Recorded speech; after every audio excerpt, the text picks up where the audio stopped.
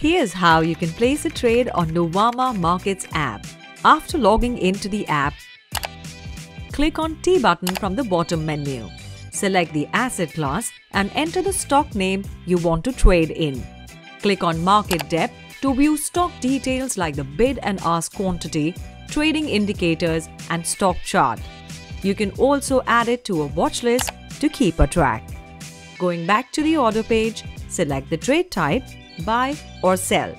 Then select the product type from delivery, delivery plus, margin intraday square off, bracket order or margin trading funding.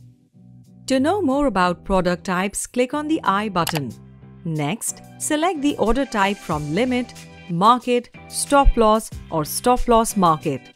Once you have selected the product and order type, enter the order details like the quantity you wish to trade and set the limit price if you want your order to get executed at a specific price. Choose the validity from day and IOC.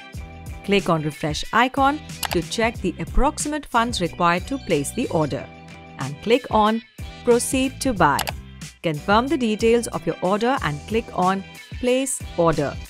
From here, you can directly access orders and position section. From the positions tab, you can view your net MTM for the day. You can also access the order and positions from the right hand side menu.